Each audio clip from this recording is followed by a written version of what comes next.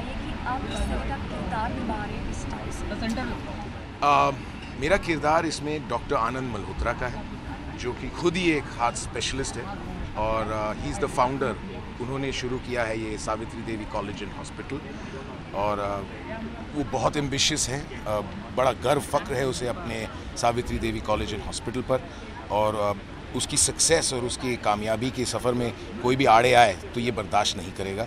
तो उसके तहत वो सारी चीज़ें उसी के तहत करता है। अब उसे ये नहीं पता कि उसने अपने अतीत में यहाँ तक पहुँचने के लिए शायद कुछ ऐसा किया हो जिसको किसी को ठेस पहुँची हो, किसी को नुकसान पहुँचा हो।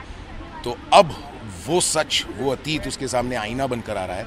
तो अब उसे उसे झेलना है। तो वो कैसे झेलेगा, किस तरह से झेलेगा, किसकी बलि चढ़ाएगा अपने अपने आप को बचाने के लिए या शायद खुद बलि चढ़ जाए, ये कहानी आगे चलकर हम आपको बताएँगे।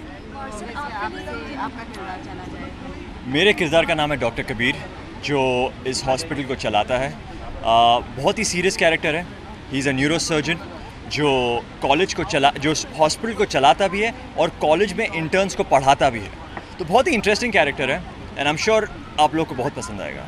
वैसे देखा कि आप काफ़ी टफ चैलेंजेस दे रहे हैं इसमें जो मेन हीरोइन है उन्हें काफ़ी टफ चैलेंजेस आप देते हैं और काफ़ी इन्हें मानते हैं। जी। तो जैसे मैंने कहा डॉक्टर आनंद मल्होत्रा जो है वो मेरे गुरु है।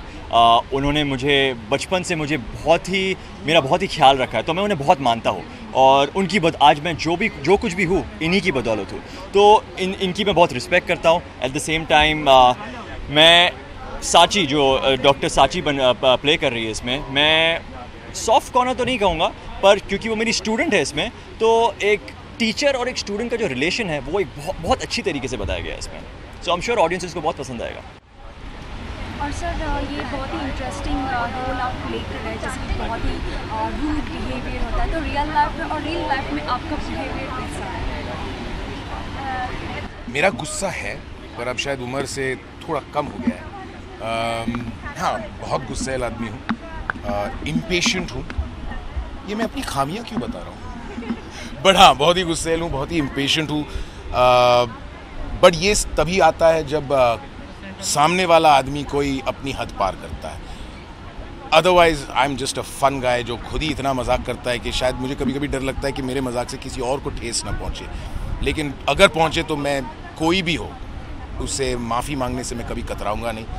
तो yeah I am just a normal person वैसे आपका जिस तरह का किरदार है इतना सीरियस तो ऑफ़ सेट जब आप रहते हैं, जब ऑफ़ स्क्रीन रहते हैं, तब आप मतलब किस तरह उसका जवाब शायद ये दे पाएँगे कि off camera am I serious as doctor off camera doctor doctor Anand Malhotra बहुत ही बहुत ही एंटरटेनिंग है बहुत ही मज़ा किया है। एंड ट्रस्ट में हम लोग सेट पे इतना मज़ा करते हैं कि मैं आपको बता नहीं सकता। इज़ अ वेरी एंटरटेनिंग है एंड शो में जो उनका किरदार है वो असलियत में बिल्कुल ऑपोजिट है। इज़ अ फन गाय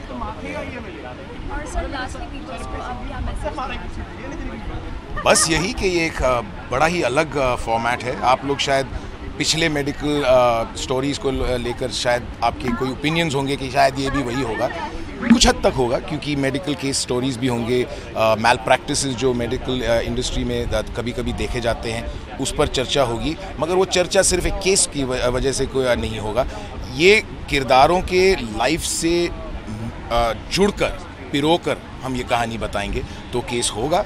लेकिन उस पर कैरेक्टर्स पर, किरदारों पर actors not actors so much as the people who are playing it वो किरदारों पर क्या असर पड़ता है ये वो बताएगा जो हमारे और आपके कहानियाँ होती हैं आम ज़िंदगी में। सो so, एक घंटे का शो है जैसे मैंने कहा बहुत बड़ा कैनवस है बहुत सारे किरदार हैं और बहुत सारे इमोशनल ट्रैक्स हैं मज़े के ट्रैक्स हैं रोमांटिक ट्रैक्स हैं एंड मेडिकल फैक्ट्स हैं। तो ये सभी चीज़ों का मिश्रण लेकर आई थिंक ये एक संपूर्ण एंटरटेनमेंट होने वाला है। और छः बजे शाम को it's a new time slot तो ये भी हम सबके लिए चैलेंज है।